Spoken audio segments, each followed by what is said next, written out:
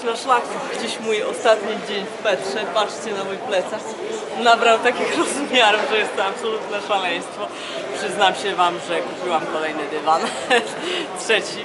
E, Magda zabrała moje, moje pozostałe dwa, więc jakby było i zamieniła mnie na kolejny. Także tamte już jadą do Polski, a ja swój doniosę do Akaby. Ale patrzcie ile tu gdzieś ludzi, błogosławię Allaha i duszarę za to, że wczoraj była zła pogoda i mogłam zwiedzać w, po, w spokoju, bo dziś naprawdę są dzikie tłumy, a jak tu musi być latem? Sodoma i Gomora, naprawdę. Także jedźcie zimą. Ale zwolniło się właśnie miejsce przy moich ulubionych dromaderach i tym pasterzu dromaderów, więc żegnam się z nimi. I dziś już tak e, w rozsądnym tempie, bez większego zwiedzania, choć mam jeszcze zamiar pójść na, na to wysokie miejsce e, ofiar, High Place of Sacrifice. Tam zdaje się będzie stromo, ale no wytrzymam jakoś. W plecaku mam jeszcze 6 czy 7 bananów i pół jogurtu i mam zamiar zjeść je zanim wyjdę z pety, to może chociaż kilogramu będzie. O, dziś trudno znaleźć wolne miejsce. A grobowiec jest już w słońcu, więc też inaczej wygląda. Muszę powiedzieć, że w pochmurny dzień jest naprawdę ładnie, więc warto poczekać na złą pogodę.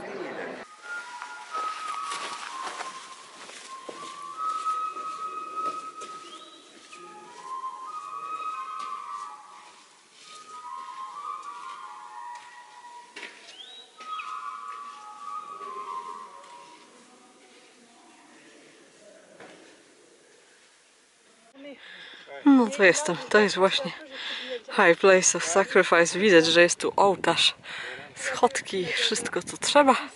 No i grupa francuskich turystów. Skoro miejsce ofiarne, to musi być też ofiara. Z jogurtu i bananów będzie lżej w dół. Raczej nikt tutaj nie składał ofiar z bananów. No może jakiś jogurt pojawiał się na tym e, stoliku tutaj, ale tak naprawdę składano tu ofiary ze zwierząt e, ku czci Boga, duszary. Jest tutaj takie miejsce, gdzie e, właśnie zabijano zwierzę. Jest takie okrągłe zagłębienie, gdzie gromadziła się krew i spływała tutaj niżej. Pewnie tak, żeby jakoś spotkać się z tym stołem. E, Gdzieś tu pewnie właśnie palono jakieś kadzidła, a tutaj stała rzeźba Boga. Tylko nie istnieje. Może, może to jest właśnie ta, którą widziałam wczoraj w muzeum, ale nie jestem tego pewna. No dobra, następna wycieczka. Najwyższy szczyt w tym przeciwległym paśmie to jest e, najwyższy szczyt Petry i tam znajduje się grobowiec Arona, brata Mojżesza. E, Ta wędrówka, która jest opisana w Księdze Wyjścia, wędrówka z Egiptu ku ziemi obiecanej, miała trwać 40 lat. E, No, 40 jest synonimem długiego czasu, więc pewnie, pewnie nie. E, W każdym razie e, Mojżesz się tutaj błąkał. Gdzieś miało być źródło Mojżesza, gdzie, gdzie on walnął w skałę laską i wytrysnęła woda. To chyba miało być tutaj, chociaż może to było pod górą Nebo, już sama nie wiem. Tam była woda, a ja tutaj już źródła nie widziałam. Może po prostu wyschło. Może po prostu przegapiłam. No i cała dolina Ładymusa to znaczy właśnie Dolina Mojżesza, więc to miasteczko, w którym spałam, to miasteczko Mojżeszowe. Teraz muszę zejść na sam dół, a potem tą doliną w górę i znowu pewnie gdzieś tam w dół. Widać nawet taką dróżkę, którą jedzie w oddali auto, to chyba właśnie tam idę.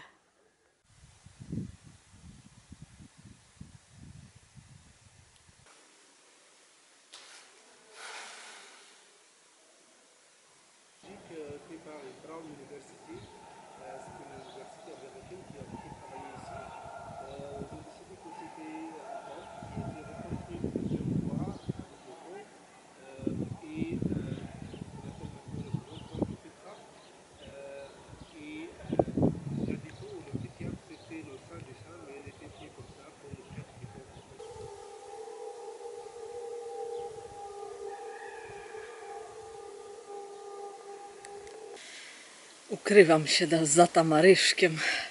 E, Złą drogą wyszłam z e, Petry trochę naokoło, ale za to jakąś taką gruntową drogą. Potem dołączyłam do szlaku i znalazłam ślady Stefanii i Lee, więc są gdzieś przede mną. Ja dziś późno wyszłam jeszcze to zwiedzanie poranne trochę zabrało mi czasu, więc jestem opóźniona. Mam nadzieję, że uda mi się dojść w jakieś sensowne miejsce na wieczór.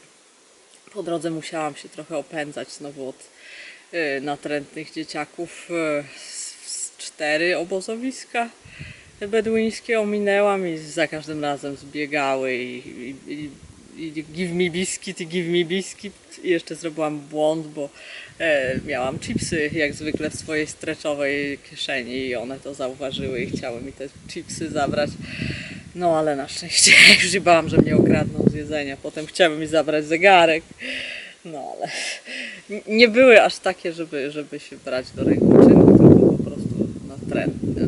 Ale no, na razie poszły. A tu się ukrywam, bo słyszę z daleka, że następna banda tam grasuje, więc chcę mieć spokój. Z jednej strony w tym kraju są fajni ludzie, a z drugiej strony pewnie masowa turystyka ich psuje i właśnie te dzieciaki szaleją, bo myślą, że turysta to jest chodząc, to są chodzące pieniądze, które po prostu są i można je brać.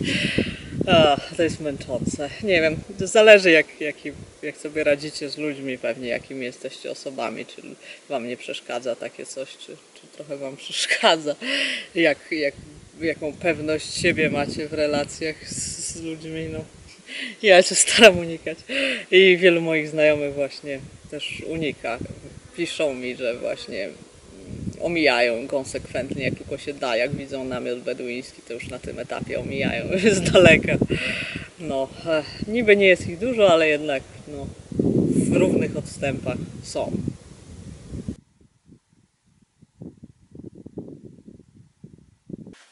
Natknęłam się na kolejne ruiny. Na mapie mam to na, zaznaczone jako e, amfiteatr w Dolinie Sabra. To jest Dolina Sabra i rzeczywiście trochę to przypomina amfiteatr.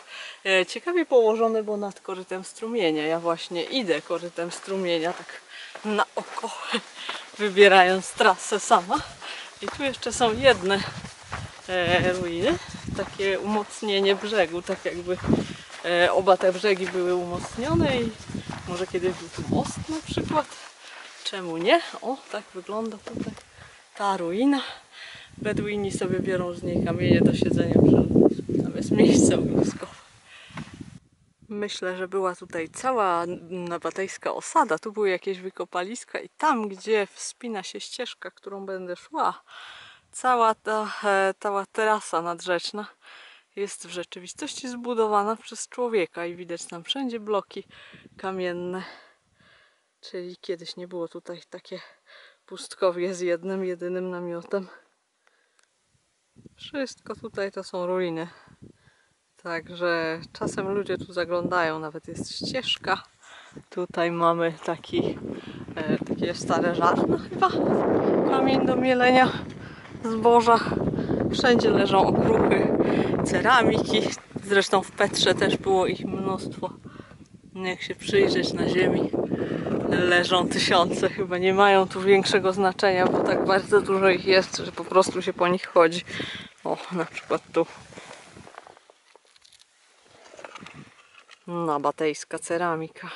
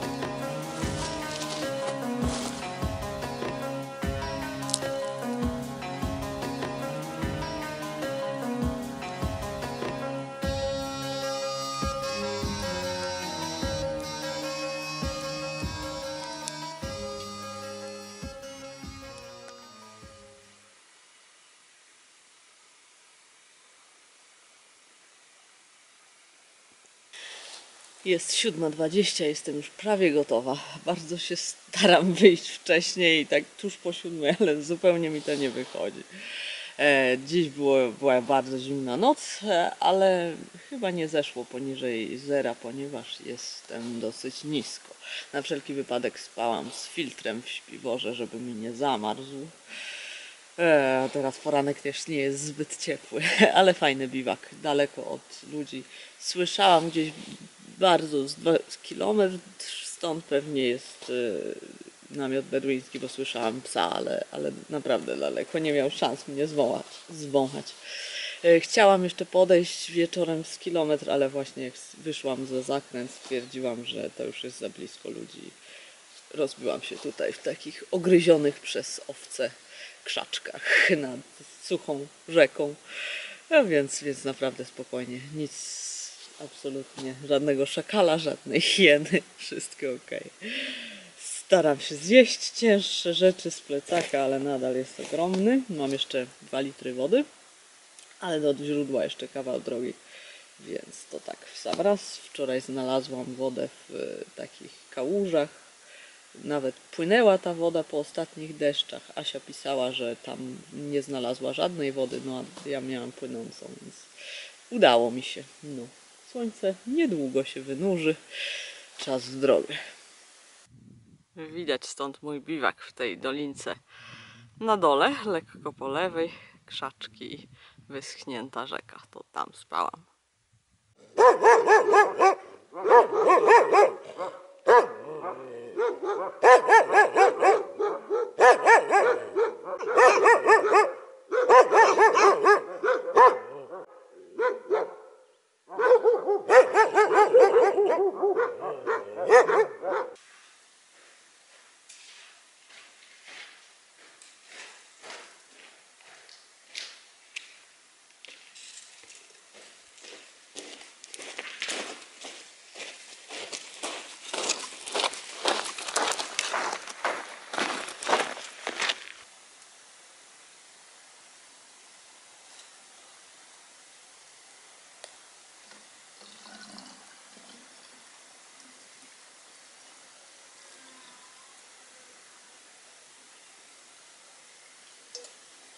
Jest niestety ostatnie źródło e, na 44 km.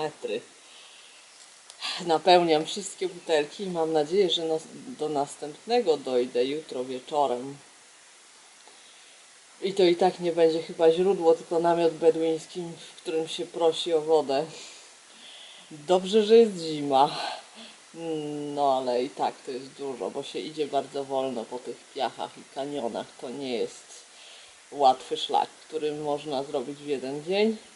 E, Robiłam już wiele razy 50 km jednego dnia z 5 litrami wody, ale no tutaj tego nie widzę. Nie wydaje mi się, żeby to było możliwe, zwłaszcza przy krótkim stosunkowo dniu. No więc będę musiała oszczędzać wodę, a ja zawsze, jak wiecie, dużo piję, więc będzie to przykre. Muszę się tutaj dużo napić zakamelapować, jak mówią hajkerzy, zawielbłądzić i napić się na zapas. E, ta woda oczywiście nie jest czysta, e, bardziej jest to nasycony roztwór lambli. E, Wszędzie śmierdzi owczym moczem i no, po prostu owce tutaj chodzą się napić. Więc oczywiście trzeba to filtrować lub gotować, co będę czynić. No i tak. No szkoda, może się trafi jakaś ekstra woda, może przejedzie jakiś samochód, bo podobno czasami jeżdżą tymi kanionami, no ale raczej nie tutaj. No, trzymajcie kciuki jak zwykle, żebym się nie zasuszyła.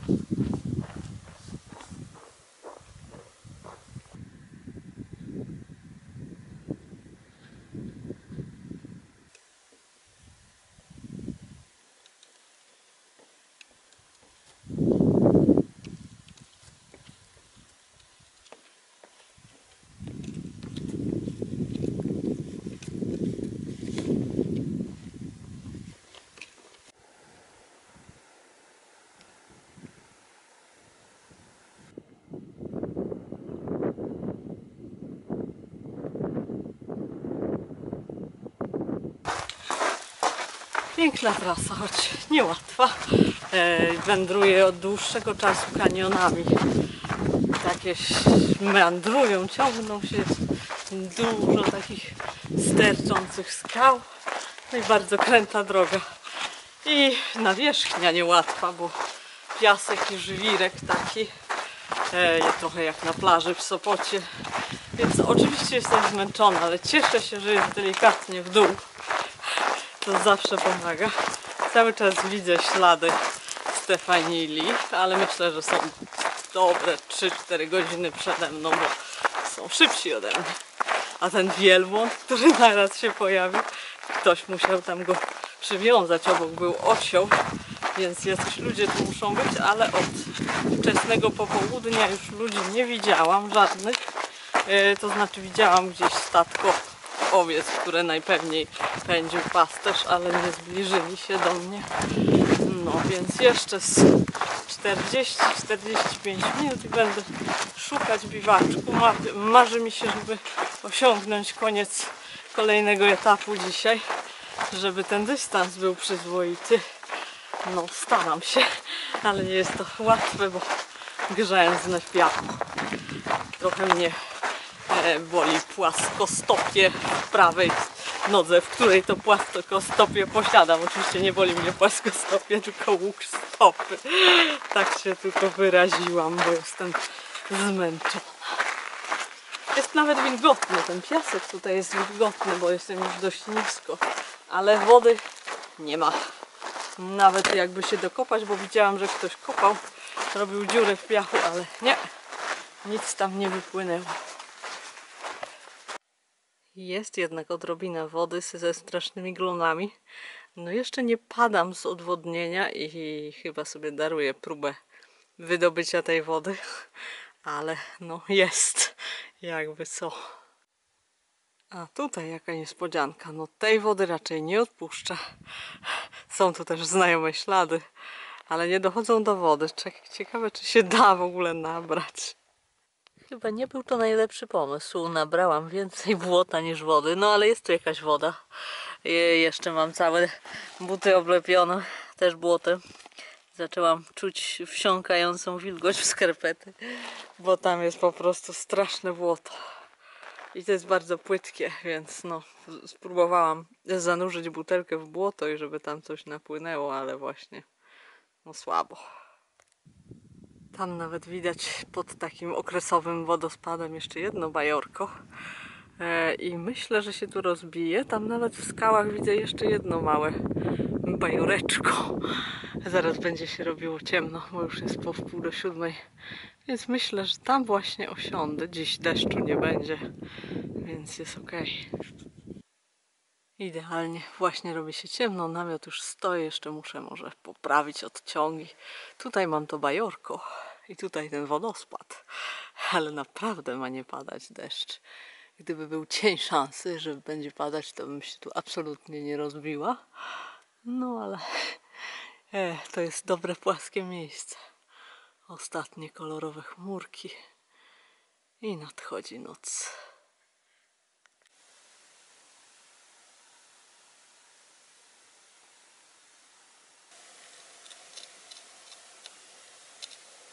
Au.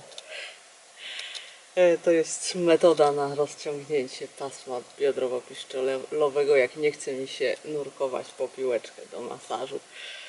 No te 6 kilo wody wczoraj dało trochę temu pasmu popalić, więc jak się dziś zaczęłam wspinać, to odczułam, że jakaś ciasność jest. Więc właśnie sobie dłubię w tym ścięgnie na początek, ale piękny dzień. Wygląda na to, że będzie piękny. Zaczął się od tego, że oczywiście zgubiłam szlaka, ale tylko 200 metrów, więc nie jest źle. Zaraz go znalazłam. No i mam dodatkową wodę w takiej skalnej misie była fajna, no znaczy z larwami komarów, ale to nie groźne. Fajna, chłodna woda, więc mam pełne praktycznie 4 litry na cały dzień. Nie muszę błagać beduinów o wodę i na wieczór mam być przy, przy miejscu, gdzie znowu będzie naturalne źródło, więc fajnie. Muszę jeszcze wysypać piasek z butów, a potem już.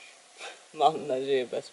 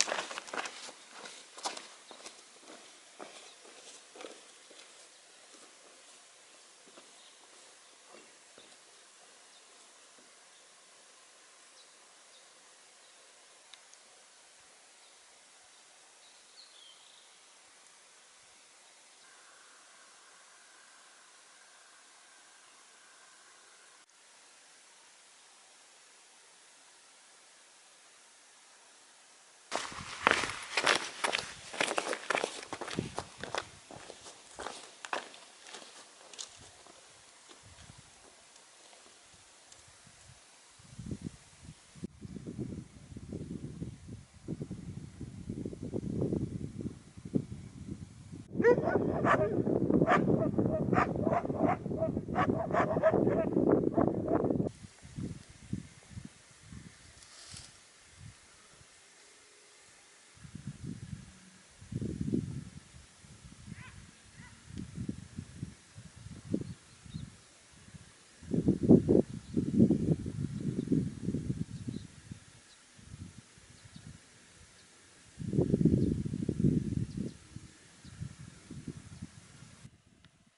Jak stary może być ten rysunek?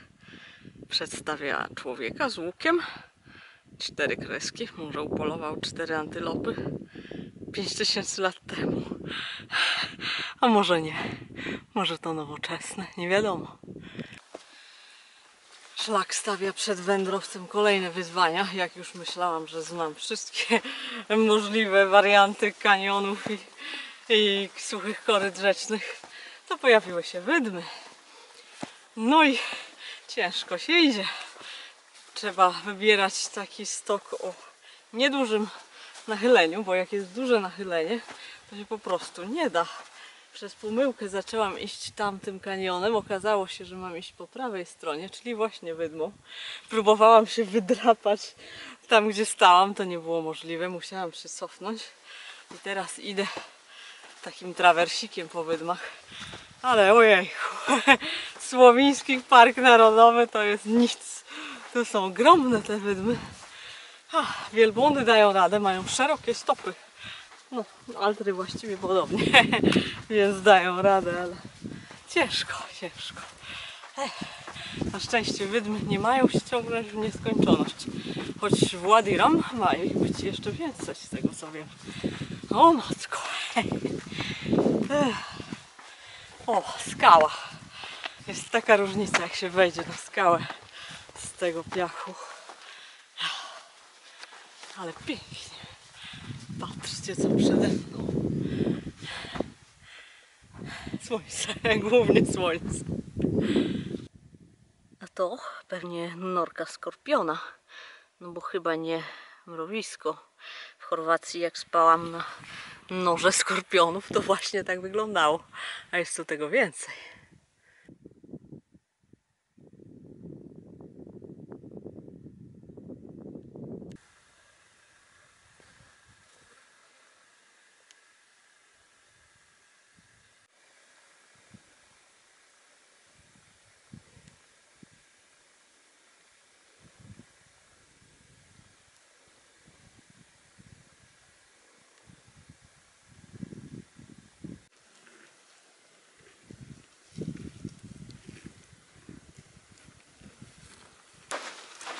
Już jakieś 12-13 kilometrów idę wzdłuż okresowej rzeki korytem po piachu. Jestem skonana.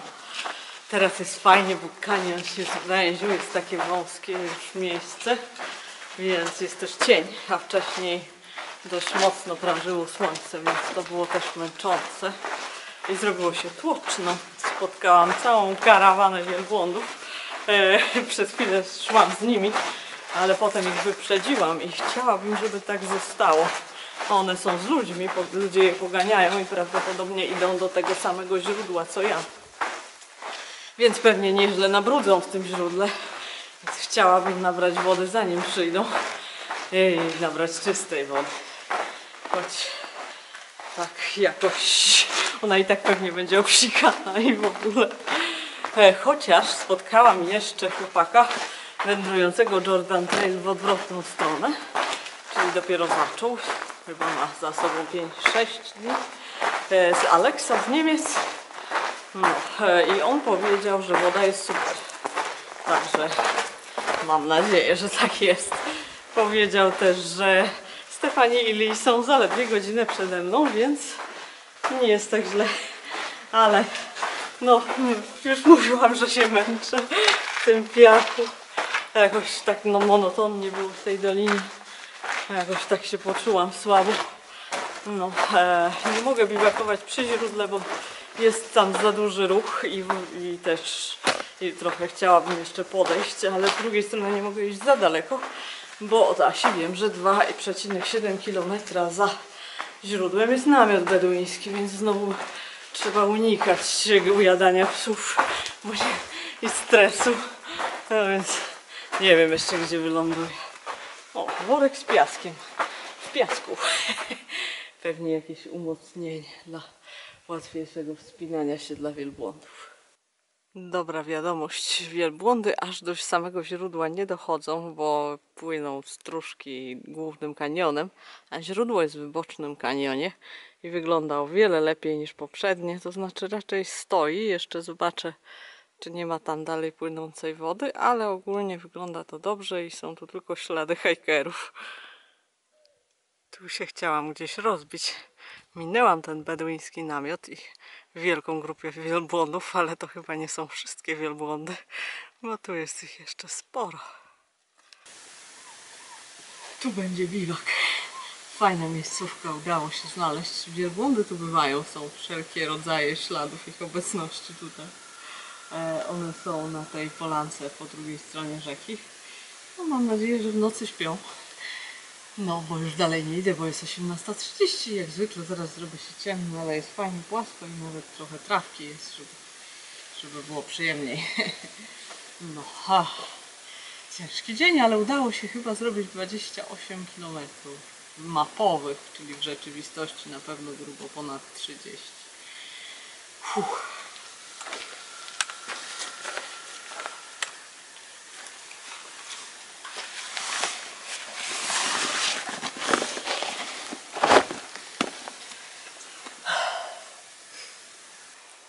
Zawsze szukam opału, zanim rozbiję namiot. Do swojej kuchenki potrzebuję no, jakąś rozpałkę, no i trochę patyczków. Nie jest zwykle problemem znalezienie tego, a w dolinach rzecznych jest najlepiej, bo są takie popowodziowe trawy suche zawieszone na krzakach, więc to spokojnie starczy i na dziś, i na jutro rano.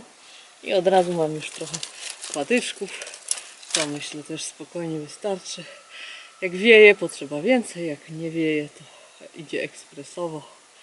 No, może jeszcze kilka patyczków i namiot. No i stoi. Dobrze mi poszło, jest pięknie rozstawiony.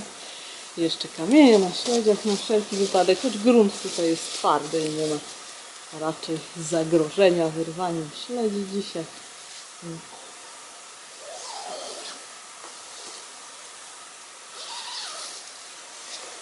To dobranoc, do jutra. Aktualizacja. Miało być tak dobrze, a wyszło tak jak zawsze. Mm, Nie ma psów, ale są wielbłądy. Mm, Przyszły do mojego obozu. Większość się oddaliła, ale jeden uparcie siedzi i mam go 3 metry od swojego namiotu. Mam nadzieję, że one idą spać, ale chyba nie, więc chociaż mam nadzieję, że dobrze widzą i nie rozgniotą mojego namiotu razem ze mną w środku. No one są dość precyzyjne w tym, jak stawiają nogi, więc mm, mam nadzieję, ale, ale znowu się zestresowałam. Po prostu nie mam szczęścia do biwaków, no i w Jordanii. No to teraz już chyba naprawdę dobranoc. Mam nadzieję, że przetrwam do rana. No niewiarygodne. Ten wielbłąd jest tuż obok mojego namiotu. Jakoś ominął odciągi i wsuwa jakieś krzaczki. No jak ja mam tutaj spać? On nie jest na szczęście jakoś groźny ani nic. Nie jest zainteresowany mną. Przyjął do wiadomości, że ja tu jestem, ale jakby nie ufam mu, jeżeli chodzi o te odciągi. Tu będzie moja głowa. Fajnie by było, jakby jadł jakieś inne krzaczki. Jest ich tu dużo. Ale on się uparł na te. No wielbłąd, idź sobie, daj mi spać. Cholera. Co za noc.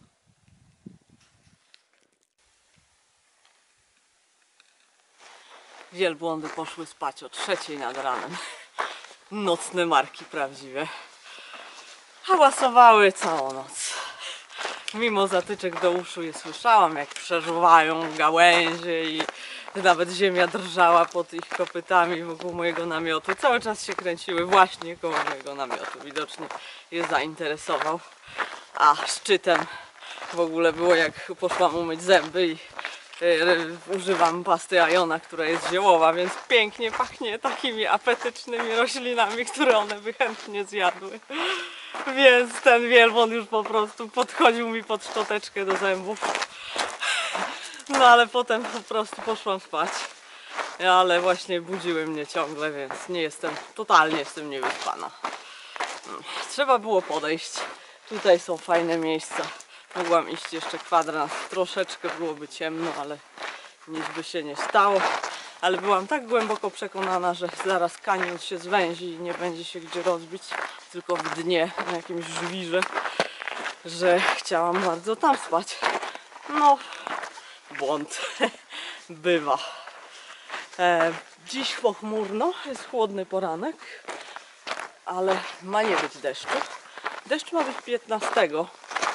W dniu, w którym mam szansę skończyć szlak. Myślałam, że 16, ale liczyłam w tą bezsenną noc, e, że zostało mi właściwie 126 km z tego miejsca, co oznacza, że powinno się te szlakowe 25 km robiąc zdążyć właśnie zrobić to w 5 dni, a że dziś jest 10. Jeden. Ile dziś jest? 12. Okej. Dwu- Ale 12, 13, 14, 15, a nie, 16. To nie, to, to nie zdążę. Przed deszczem, tak tu widzicie, wygląda liczenie z wielbłądami wokół. Ale no zaraz, niedziela, poniedziałek, wtorek, środa, czwartek i piątek. To 6 dni mam. No nie wiem jak to liczę. W każdym razie liczę tak, że powinno się udać skończyć szlak przed deszczem. Co byłoby fajne, bo kończyć szlak w deszczu nad Morzem Czerwonym, gdzie chciałam się kąpać, byłoby słabe.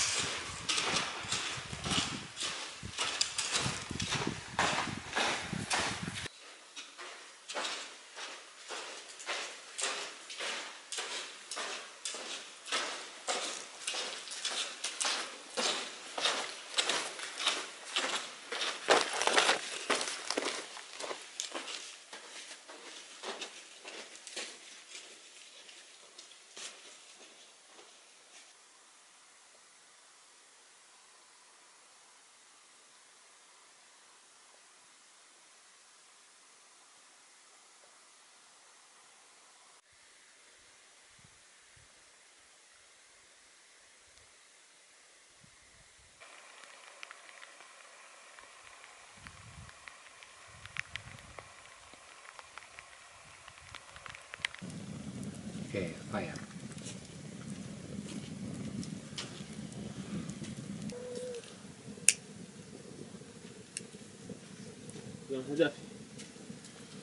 من المجاوي توقع عن الصرف من المجاوي ساتر تقول طباع حارب معاه هاي واحدين محمد والراد عندهم والراد معاه البلية. ايوه زودها ناس وياك محمد الكافي وراء ايضا وبنات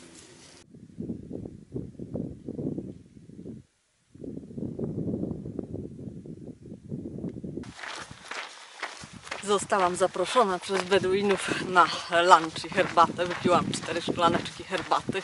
E, Na lunch był chleb z takim pysznym sosem pomidorowym ze świeżych pomidorów i taką mega gęstą oliwą. E, Pewnie taką niefiltrowaną. Nie wiem, nie znam się za bardzo na oliwach, ale smakowała bardzo surowo. E, I oliwki jeszcze były pycha. Fajnie było posiedzieć, pogrzać się trochę przy ogniu. A teraz wyszło słońce i jest już trochę cieplej, ale nadal jestem w czapce. E, Trochę wieje, ale teraz jestem na bardzo ciekawym odcinku szlaku, gdzie idzie się linii prostej na azymut. E, przez pustynię po prostu. Jest nawet taki w miarę twardy grunt, więc nie jest to problem, że nie ma ścieżki ani drogi. E, udaje się w kierunku wioski, już tak w rzeczywistości idzie trochę bardziej tak, a nie tak. E, Mijając tą wioskę, ale to bez sensu, bo to cywilizacja, woda, mam nadzieję jakieś pomarańcze zaszaleję kupię butelkę coli. Chciałabym. e, tak, oni tutaj mają drogo, jeżeli chodzi o takie rzeczy z zepsutego ateistycznego zachodu jak Coca-Cola i różne takie rzeczy, e, ale jednocześnie bardzo ich pożądają, tak jak my, hikers. E, nie wiem, jakoś człowiek się odwodni, potem marzy o takich obrzydliwościach jak cola i chipsy. Chipsy to jeszcze nie. E, a jeżeli chodzi o sam azymut, no to e, jest widoczność, więc e, po prostu wyznaczyłam go za pomocą tego, co widzę na horyzoncie. Za mną jest przed nami jest taki widok. Tam jest taka górka o kształcie piramidy i wydaje mi się, że tam jest wieś. Wyznaczyłam ten azymut na podstawie strzałki telefonie. Jak się przybatujesz, to jak się przejdzie kilkanaście kroków, to zawsze jest strzałka, która pokazuje w jakim kierunku aktualnie idziecie.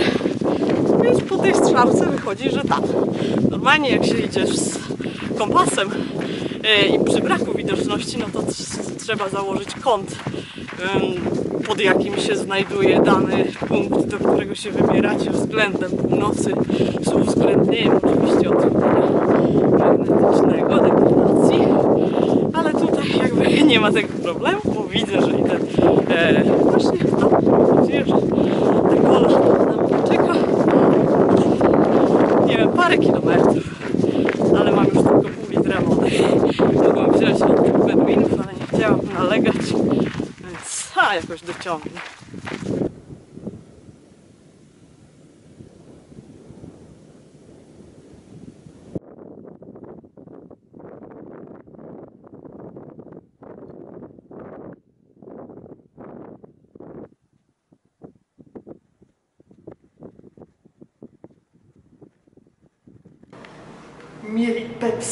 Okazała się zbyt kosztowna. 2 dinary, 12 zł.